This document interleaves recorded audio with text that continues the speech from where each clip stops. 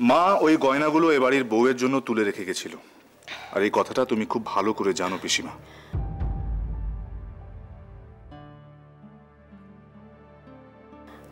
Please ওগুলো নিয়ে এসো।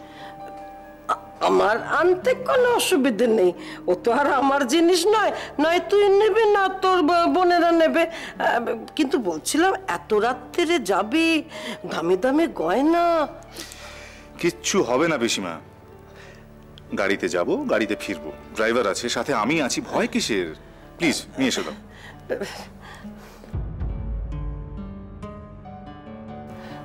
আমার তো দু হাত জোড়া আছে। কলাটা তুমি ধরো আমি নিয়ে আসছি।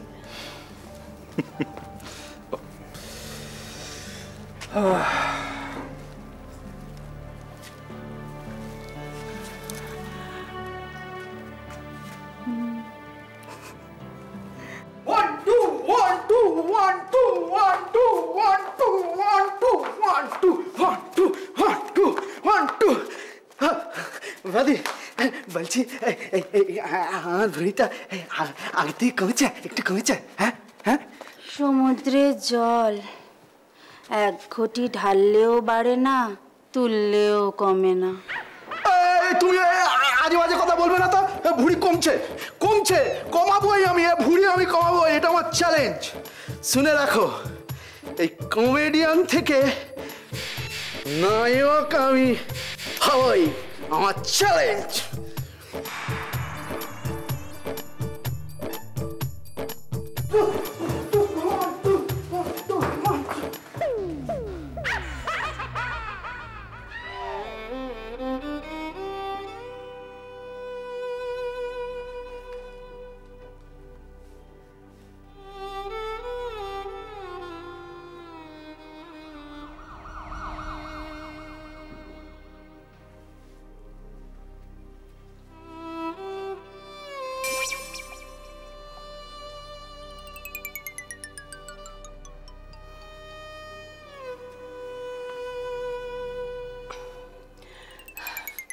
কুনাল এই নে বাবা আমাকে হালকা কর। নে। ওগুলো জয়ীর হাতে দিয়ে দাও।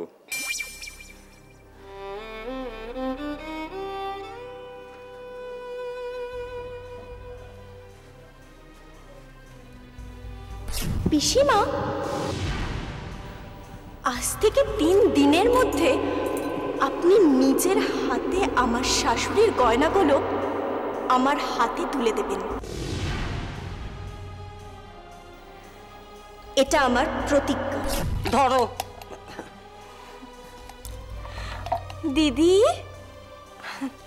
দিদি এত গয়না। আমি না একা একা পড়তে পারব না। তুমি একটু আমাকে হেল্প করবে? হুম।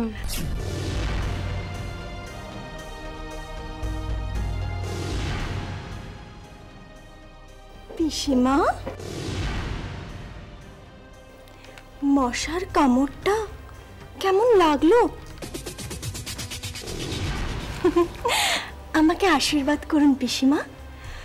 যেন আমার এই হাসি মুখটা আমি সব সময় আপনাকে দেখাতে পারি। আসি। চলো দিদি।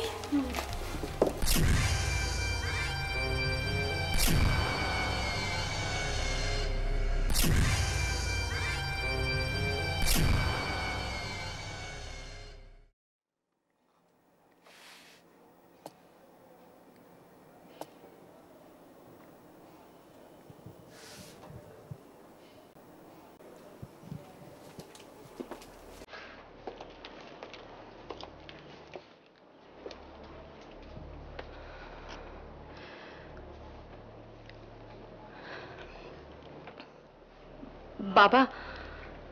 হ্যাঁ বল। তুমি কি আমার উপর এখনও রাগ করে আছো? কেন রে?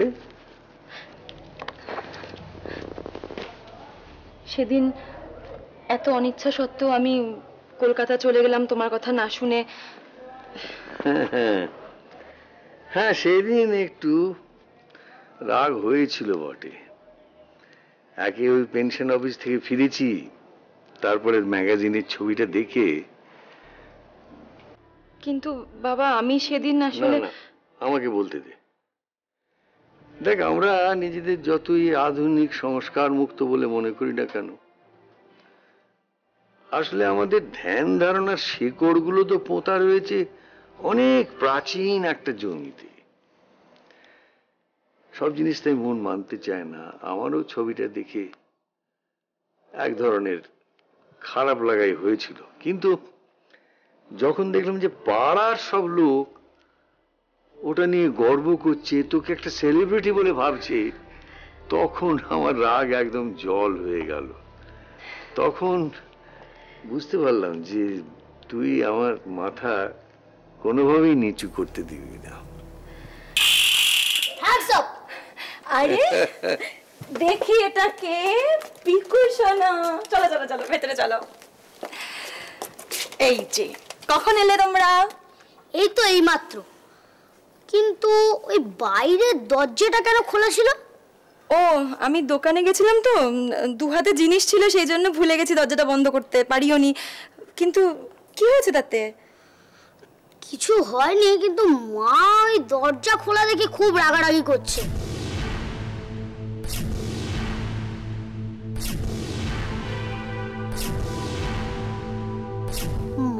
বলছিল তোমাদের কারোর কোনো কাণ্ড কারখানা না। কি যেন বলছিল কাণ্ড জ্ঞান নেই।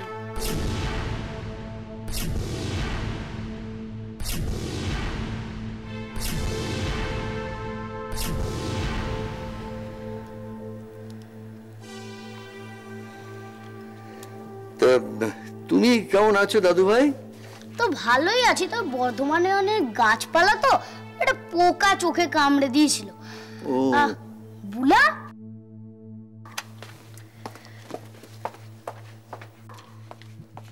তোর শরীর কীরকম আছে? চুপ কর তো। এতদিন বাদে উনি জিজ্ঞেস করতে এসেছেন আমি কেমন আছি। ও মা এখন দেখছি ভালো কথা জিজ্ঞেস করলে তুই কীরকম রেগে যাচ্ছিস। আরে এটা কি? ভিডিও গেম তাই না? না। এটা হচ্ছে কম্পিউটার আর একে বলে ল্যাপটপ। কোথায় পেলি? নিশ্চয়ই দাদু কিনে দিয়েছে। হুম এটা আমাকে আমার এক বন্ধু গিফট করেছে। আই পাস এক বন্ধুর অটোয় চড়ে ঘুরছিস আরেক বন্ধু তোকে এসব গিফট করছে। তোর তো দেখছি বন্ধুর সংখ্যা ক্রমশ বেড়ে যাচ্ছে। তাতে তোর অসুবিধাটা কোথায় হচ্ছে? না আমার কিছু অসুবিধা হচ্ছে না। মানে বেশি বন্ধু বান্ধব হলে তো মেয়ের একটু পেকে যায়। মারবো টেনে এক চল না। বর্ধমানে গিয়ে পাকা পাকা কথা শিখে এসেছিস তাই না? যে ভাগ এখান থেকে। একদম কান বলে দেবো। দাদু দেখছ কান মুলছে। মুলবো না কি করব? আচ্ছা আচ্ছা তুমি আমার কাছে এসো আমার কাছে চলে এসো। যা পালা দাদুর কাছে যা। এসো বসো এখানে। আচ্ছা এবার বলো তো তুমি বর্ধমানে কীরকম ছিলে আমাকে বলো। বর্ধমানে তো আমি খুব ভালো ছিলাম। সকাল থেকে রাত পর্যন্ত বিরিয়ানি মাংস চাপ মাছের কালিয়া ফ্রাইড রাইস চিলি চিকেন অনেক খাবার খেতাম। আর দুবেলা আইসক্রিম খেতাম। আবার বাজে কথা। কেন? দুবেলা আইসক্রিম খেতাম? এখানে থাকলে মা কি বলতো? গলা ব্যথা করবে আইসক্রিম খাবে না। আর ওখানে উনি দুবেলা আইসক্রিম খেতেন। এখানে কেন মা আমায় আইসক্রিম খেতে দিত না জানো? আসলে এখানে আমি যদি আইসক্রিম কিনি তা তোমাদের সকলের জন্য কিনতে হবে। অনেক খরচ হবে। তাই মা আমায় মিথ্যে কথা বলতো। আর ওখানে তো সেসব ঝামেলা ছিল না, তাই আমি আইসক্রিম খেতে পেরেছি। তবে এখন বোধহয় এখানেও আইসক্রিম খেতে পারব, কারণ আমরা তো খুব শিগগিরই আলাদা হয়ে যাব।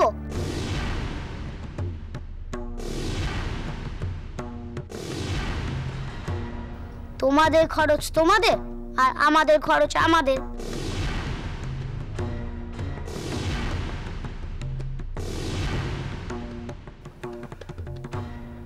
তুমি একটু বসো দাদু ভাই আমি আসছি।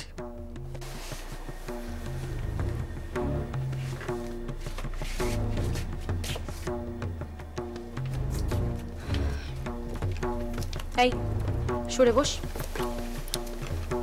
তুই কি বুঝিস রে? আলাদা হয়ে যাবার আগে আমি অনেক কিছুই বুঝতে পারতাম। না তবে বর্ধমানে গিয়ে মা বাবা আমায় শিখিয়ে দিয়েছে হোয়াট ইজ হোয়াট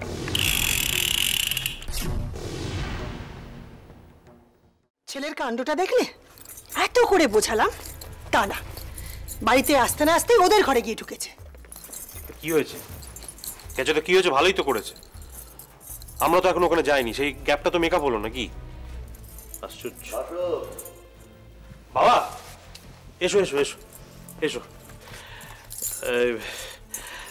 অ্যাকচুয়ালি মানে এই সবে এলাম তো মানে ড্রেস ফ্রেস চেঞ্জ করে তোমার ওখানে যাচ্ছিলাম। কেমন আছো? ভালো আছো তো? মানে বৈশাখী বুলা ভালো আছে তো? তোরা আসার আগে অবধি তো ভালোই ছিলাম। বাহ! বাড়িতে পা রাখতে না রাখতেই খোঁচা দিতে শুরু করলেন। খোঁচা খেয়েছি বলেই তো এখানে এলাম। পিকুর অসাক্ষাতে তোদের সঙ্গে কয়েকটা কথা বলে নিতে চাই। কি কথা বাবা? নিজেদের মনের বিষটা ওই বাচ্চা ছেলেটার মনে চালান করছিস কেন?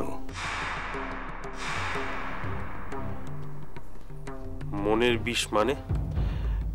মানে পিকু কি তোমাকে অসম্মান করে কোনো কথা বলেছে? না, এখনও অতটা ব্রেন ওয়াশ তোরা করতে পেরেছিস বলে তো মনে হয় না।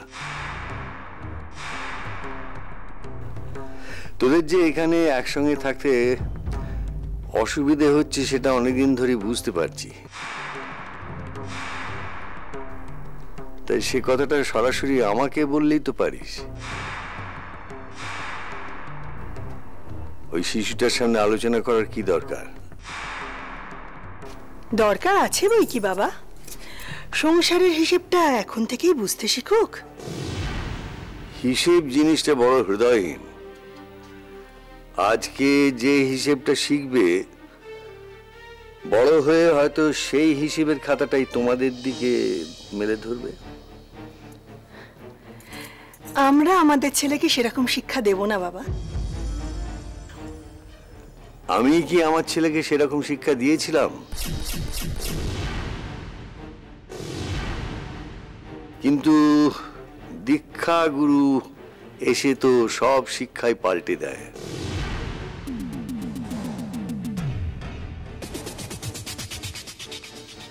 বাবা আপনি কি বলতে চাইছেন?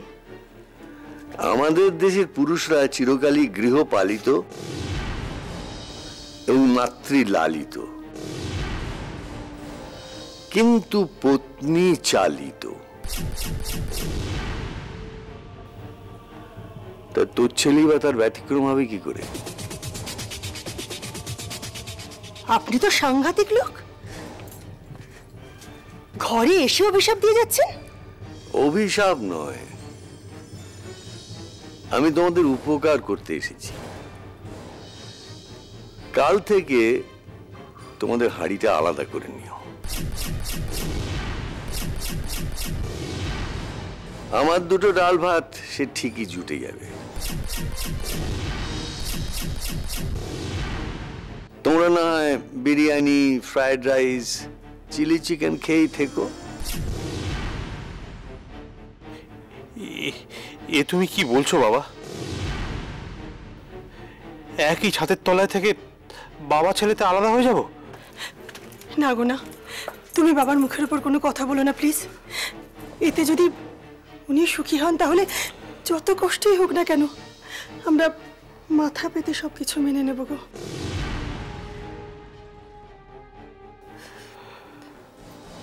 এ সংসারে তোমার মুখের বাবার মুখের উপর কথা বলার ক্ষমতা আমার নেই।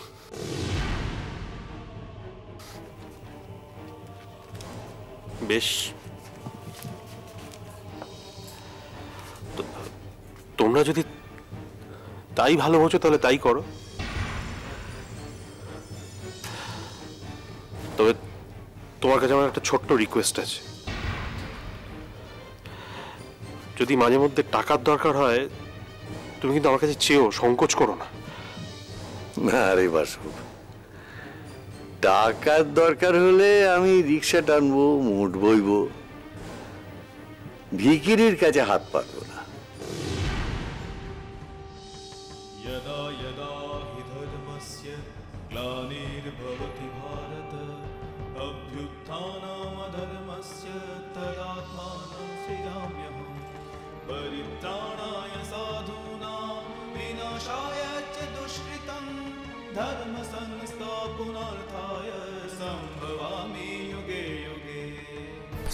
দেখেছ?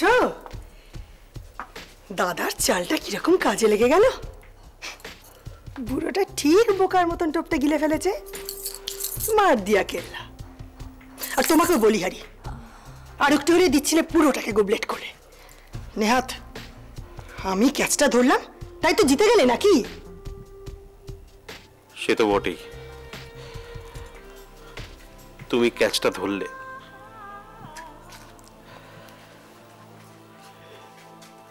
আসলে জানো তো পিয়ালি, এই সংসারে তুমি হচ্ছ আসল ক্যাচার আর আমি একটা ক্যারিকেচার